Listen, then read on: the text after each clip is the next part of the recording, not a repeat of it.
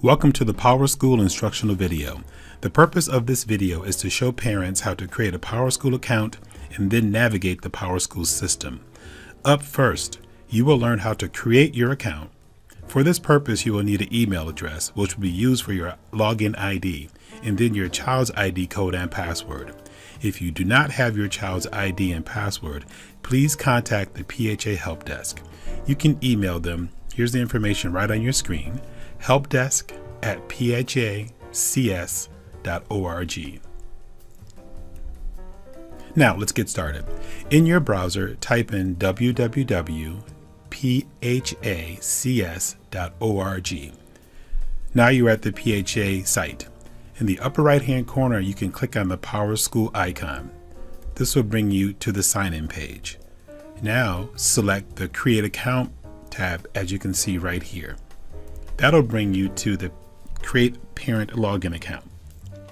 Enter in your first name, enter in your last name, and then enter in the email address you want to use for the account. And also, we suggest to use that email address for your username because it's very easy to remember.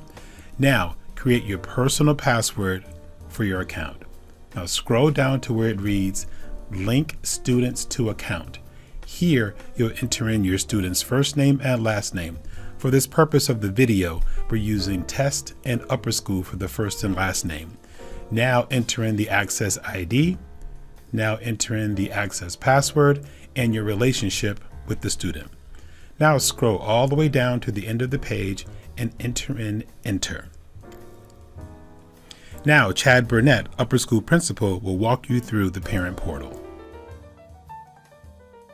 This is Chad Burnett, the upper school principal. I'm going to take a moment to point out some of the most important information available to you on PowerSchool.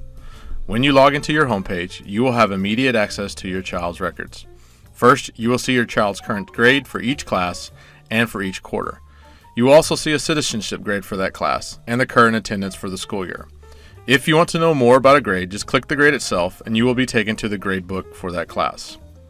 If you have any questions about a grade, you can return to the homepage and click on the teacher's name to send an email directly to that teacher. Back at the homepage, you can also use the sidebar to look at teacher comments for each class, look at a calendar of school events, and if you have any questions about your students' grades, attendance, or comments, please do not hesitate to reach out to your child's advisor.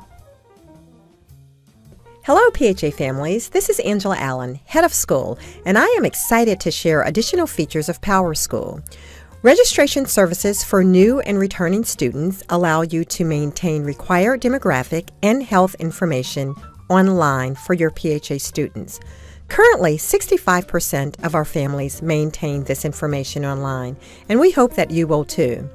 For applications for admissions, you can complete all required application forms for your new student online, as well as required athletic forms for existing PHA students to participate in athletics online.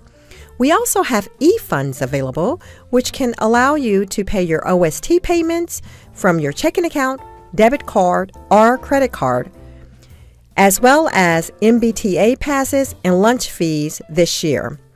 We're looking forward to your participation and thank you very much.